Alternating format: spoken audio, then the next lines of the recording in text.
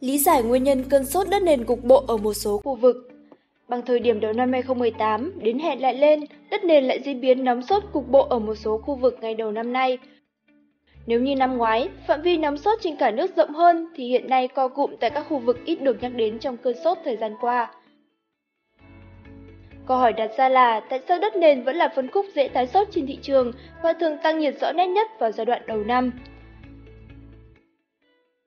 Một số lý do khiến đất nền tái sốt được đúc kết từ quan điểm của các chuyên gia, nhà đầu tư trong lĩnh vực này. Tâm lý còn nặng nề về nhà đất. Theo các chuyên gia, mặc dù người ở hiện nay đã có cái nhìn khác nhau giữa việc chung cư và ở nhà đất, thậm chí nhiều người sẵn sàng bán nhà để ở chung cư, nhưng nếu so sánh tương quan trên thị trường, tỷ lệ người muốn mua nhà đất vẫn cao hơn tỷ lệ người mua căn hộ trên cao. Đa dạng đối tượng và nhu cầu khách hàng Đất nền là loại hình vừa tác động đến nhu cầu ở thực, vừa dễ tác động đến nhu cầu đầu tư vì mọi lứa tuổi đều có thể tham gia được. Nếu căn hộ còn khá mới lạ trong danh mục đầu tư của những khách hàng có tuổi, thì ngược lại, đất nền đáp ứng được tất cả về tâm lý sở hữu lâu dài, của để dành và là kênh đầu tư họ có thể theo đuổi đường dài. Không phân hạng theo cấp bậc Căn hộ thì có thể chia thành căn hộ cao cấp, trung cấp, bình dân và bán với mức giá tương ứng.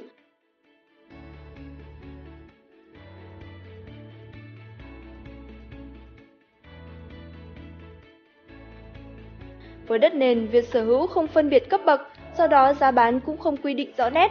Đây chính là cơ hội để bên bán có thể tự tạo sóng bằng giá, tùy vị trí và mức độ đầu tư hạ tầng. Nhiều doanh nghiệp không chuyên nhảy vào thị trường. Đây là phân khúc nhìn rõ được sự hỗn độn khi nhiều người ngoại đạo vẫn có thể kinh doanh đất nền.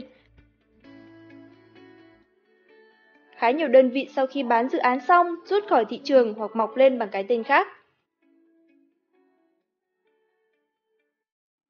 Hướng dịch chuyển đầu tư ít. Theo ghi nhận, nếu các nhà đầu tư căn hộ dễ dàng chuyển hướng đầu tư sang đất nền, nhà phố thì những nhà đầu tư đất nền lâu năm rất khó để dịch chuyển đầu tư. Đa số những nhà đầu tư già cội trên thị trường đất nền hiện nay đều chỉ tập trung vào đầu tư phân khúc này. Ngoài lý do về sự rành phân khúc thì tình trạng này còn xuất phát từ yếu tố lợi nhuận. Sự chênh lệch giá đất nền còn khá lớn, Hiện tượng đất sốt cục bộ hoặc tái sốt ở một số khu vực giá đất còn có thể tăng cao hơn nữa, xuất phát chủ yếu từ nguyên nhân này.